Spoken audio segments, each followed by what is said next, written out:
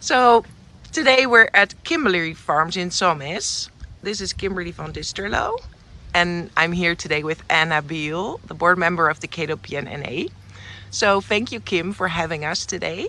Well, you're very welcome. I'm very excited.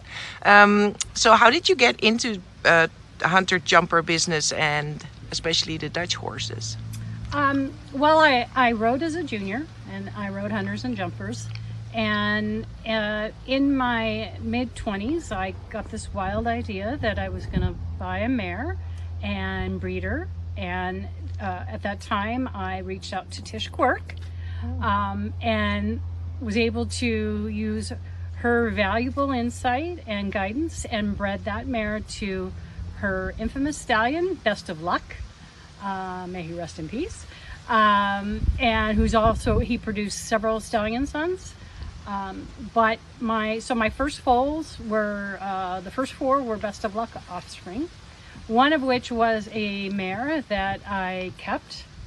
Um, and she was the foundation of my breeding program. I also um, have acquired uh, Dutch mares, uh, either uh, you know within the United States or in Holland, um, and have continued to you know uh, expand my knowledge of of the Dutch bloodlines, etc. Um, and so that's where we are today, and I think we'll talk about uh, where we're going. Um, we've done very well in keurings and in sport with with the uh, prior product of what we, you know what we developed um, in the in the last 30 years. Uh, I will say I've been a member since 1985. Um, so one of the not the founding members, but very close to it. Um, it's the only registry I've ever used. I feel the KWPN gives superior customer service. Um, definitely has a higher caliber of horse. Um, I believe that the KWPN keuring process um, utilizes a much higher standard in evaluating the, the horses for approval and for star accreditation, etc. Um, and that is also what I am trying to mirror in my breeding program uh, to breed horses for the top of sport. Um, and in that regard, I'll, I'll announce that uh, I recently found out I am a gold level breeder for the KWPN uh, which is very exciting. Congratulations. And now, and now, I'll be working towards the platinum status. Yay. Looking forward to keuring starting back up again uh, once the COVID restrictions are lifted. I have some uh, a few promising mares that I'd like to present. Um, and you know we can talk about how I've changed my model from um, prior broader market to a more narrow uh, professional market model has morphed over the years to now being primarily focused on breeding jumper uh, performance horses for the top of sport. And in that endeavor, I have been very lucky to find two young professionals um, in the business who have um, a very ambitious and aggressive approach to being successful. And I would like to introduce um, Ben Stout and Emma Irwin, who are my partners in crime at Kimberlee Farms now. And uh, they've been instrumental in refocusing uh, Kimberlee Farms business model and very excited about the future. And I, you know, think that they can talk about what our plans are for the future a little bit more. Yeah, and how you met. I'm curious yeah, how that so, went. How did it go? Uh, Kim and I met over Facebook actually when I was still working in Holland. Um, I saw some of the horses that she was breeding, and I, I didn't know people were breeding, you know, uh, those bloodlines here. Um, so I reached out, we started talking, and it turns out, you know, kind of when I was looking to come back to America, she was looking to make quite a few changes around here. So, yeah, and it's Emma joined us about a year ago now. Um, she worked in Europe for what four years. Um, so we've kind of morphed Kim's business from you know breeding a lot um, to scale down the breeding. Uh, we've worked to increase the quality of the breeding and then uh, bring in sale horses as well. Um, so now it's a, a, mix of both sales horses, breeding, and then producing Kim's Kim's ones that we decide to hang on to.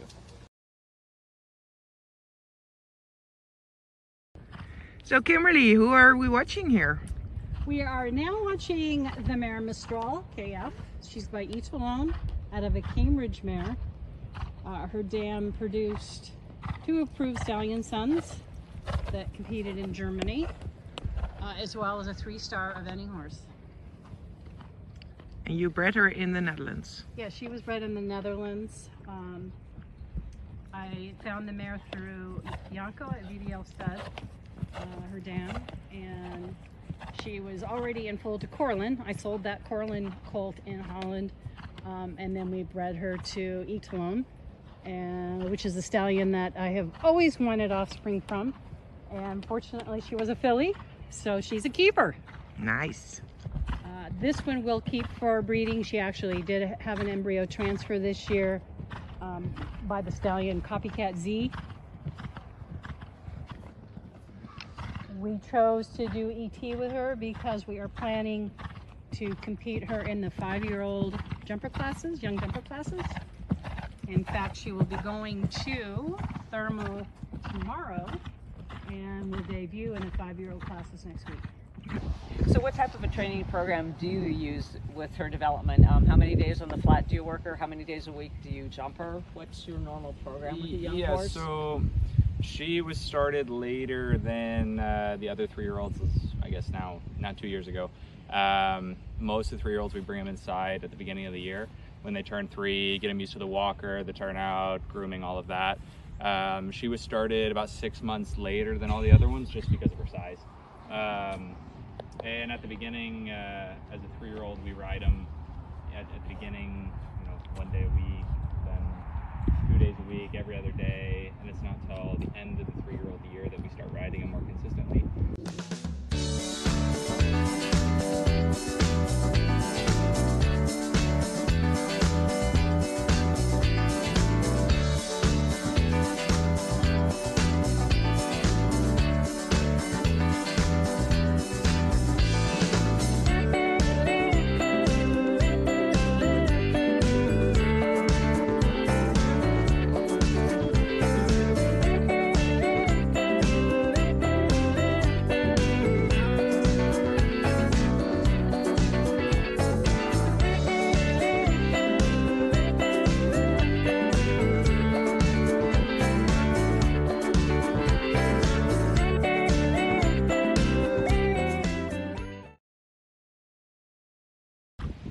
Hey Kimberlee, who are we looking at now?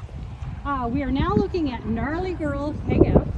Uh, she's a coming four-year-old mare by Harley out of a Chin Chin Portland mare. I bred this mare in Holland and imported her as about an 18-month-old.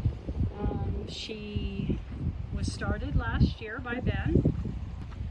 She's got a nice trot on her too. Yeah, yeah, she's, uh, like I said, a little mare with a big step.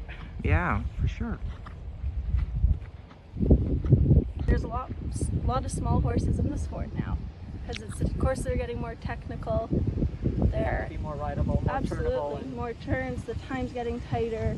There's shorter lines. There's longer lines. I've always uh, strove to um, breed jumping horses that can move well. Um, as we know, the canter is the most important gait in a jumper.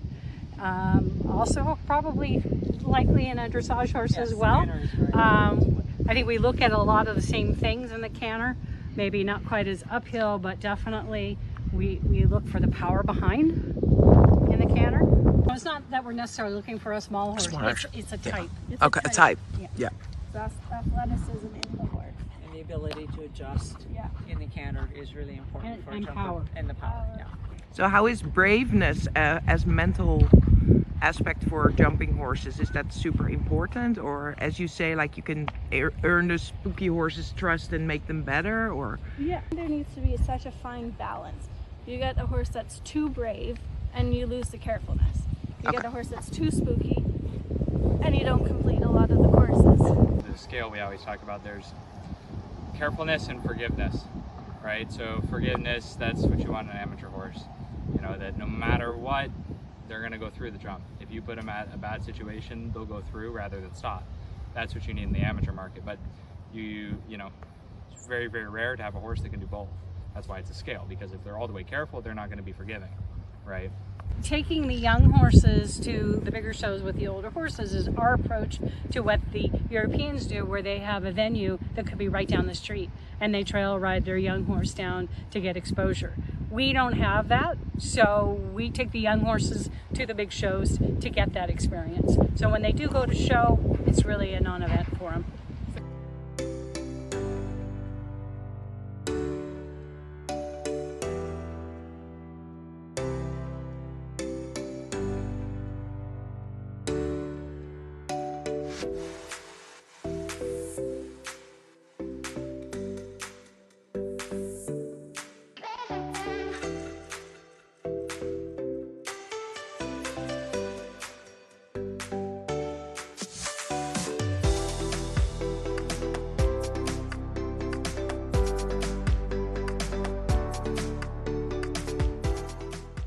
How many foals do you produce each year still?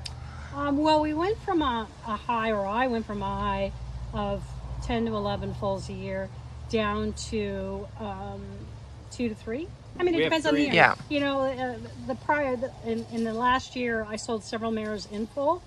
Um, they were getting older, and it was it was time to um, sort of uh, upgrade um, our breeding program.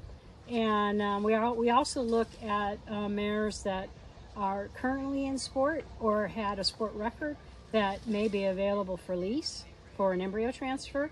Um, again, the emphasis is on breeding uh, the next generation for the top of sport.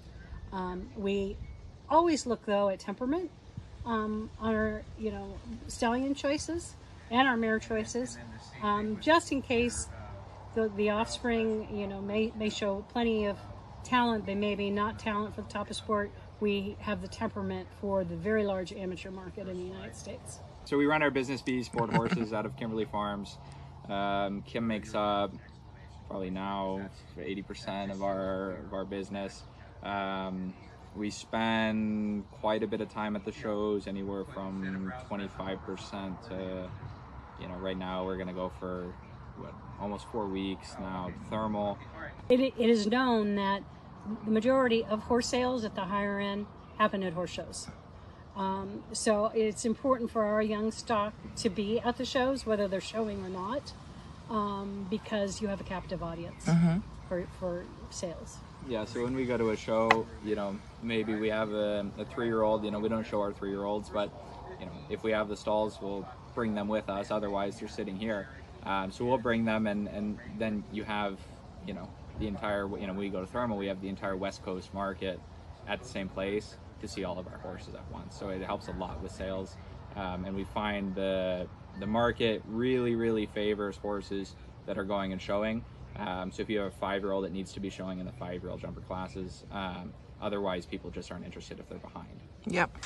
Hey, and guys, something else. The the theme of our AGM this coming year of this year in March will be passion and knowledge. So I would want to ask you guys, like, where do you get most of your knowledge from? Where did you get all your knowledge from? You you mentioned Tish Quirk before, and Oh yeah, in the very beginning, sure. Um, just you know, old school. Uh, a lot of research, a lot of reading, um, reading the, the the stallion programs when they came out. Um, you know, back in my day, it was asking for videotapes from VDL. But, uh, you know, now I, everything is you know right at your fingertips. Um, I do utilize um, uh, Ben and Emma for a lot of um, the research as far as sport records on, on potential stallion candidates or and or mares. Uh, They they have their finger on the pulse of you know the mares that are out there possibly available that are in a field somewhere not doing anything um, that had a great record and is has been pensioned but maybe could be brought back for breeding purposes. I think why our partnership works so well is, you know, the three of us all have different experience in different things. Uh, you know, Kim's done the breeding, Emma's jumped the top sport, I do the young horses. So we're able to kind of bring those three things together to make a business and a partnership that works really well. and learn from each other along the way. Well, thank you guys.